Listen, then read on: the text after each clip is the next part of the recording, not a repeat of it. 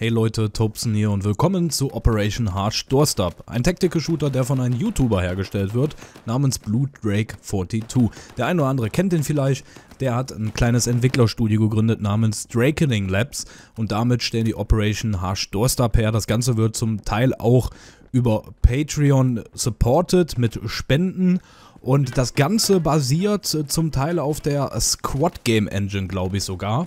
Und das Ganze wird eine ziemlich große Zukunft haben, denke ich. Das Spiel hat viel Potenzial. Das Ganze ist jetzt in den Early Access gegangen auf Steam. Bisher kann man aber über äh, Steam noch nicht die Multiplayer-Version spielen.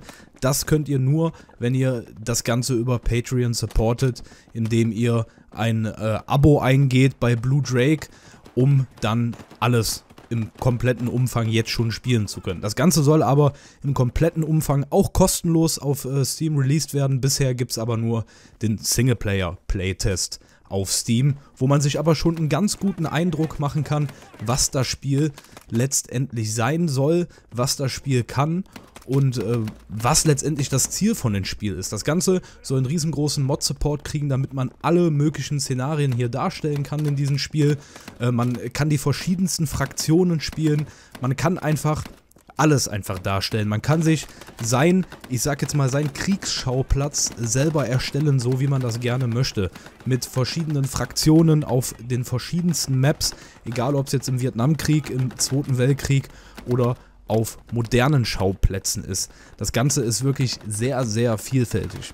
Für das das Ganze ein Projekt ist, was über Patreon supported wird und man muss nochmal hierzu sagen, was von einem YouTuber mit ein paar Helferlein eigentlich nur hergestellt wird, ist das Ganze schon verdammt beachtlich, was hier auf die Beine gestellt wurde.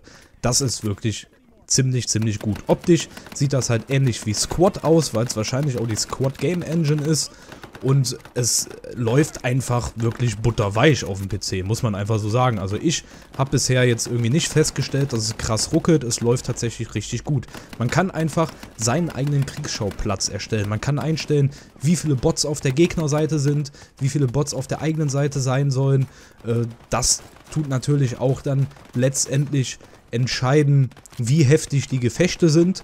Äh, und die Bots haben auch teilweise ihre eigenen Laufwege. Manchmal merkt man schon, dass sie ein bisschen äh, behelfslos dastehen, aber hier wurde auch gesagt von den Entwicklern selber, dass das Ganze alles noch natürlich im Early Access ist und dass das Spiel auch viel Zeit benötigt, weil letztendlich ist das ein mega kleines Entwicklerstudio. Eigentlich machen die das Ganze eher hobbymäßig und sind ja auch eigentlich YouTuber und äh, dadurch muss man schon sagen, Respekt, dass das äh, alles so klappt, wie es eben klappt.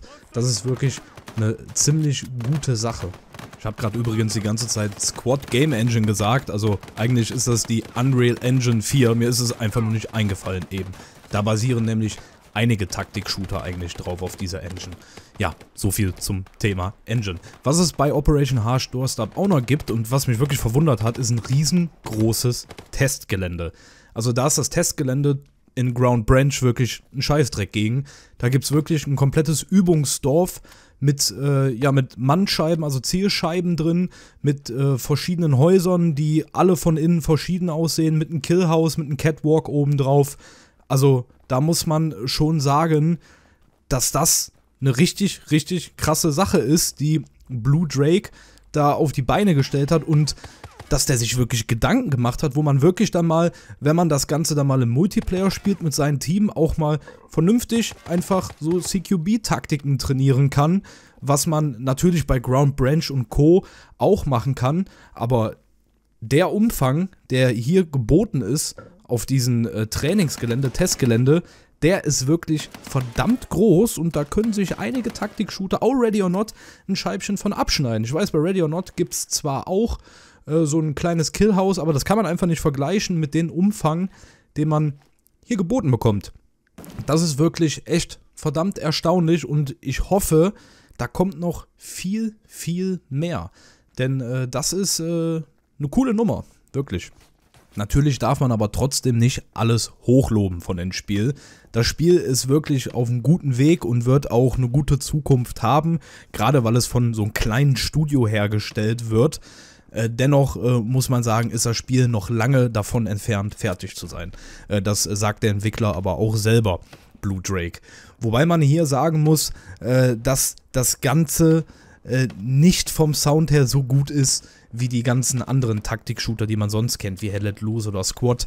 Die Sounds sind wirklich deutlich schlechter und ein bisschen äh, ja, amateurlastiger als die ganzen anderen größeren Titel, wie eben schon genannt, Hell Let Loose oder Squad und Co. Die machen das dann schon deutlich besser.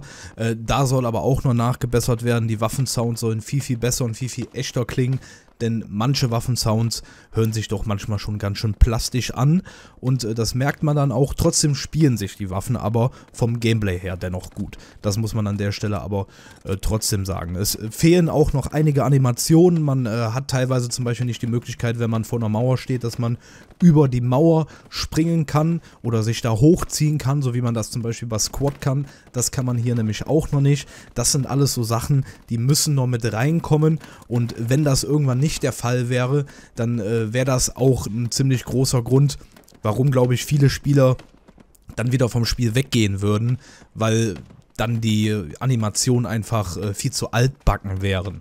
Also das müssen die auf jeden Fall noch hinzufügen. Aber ich denke, mit der Zeit der Entwicklung werden die das alles hinkriegen.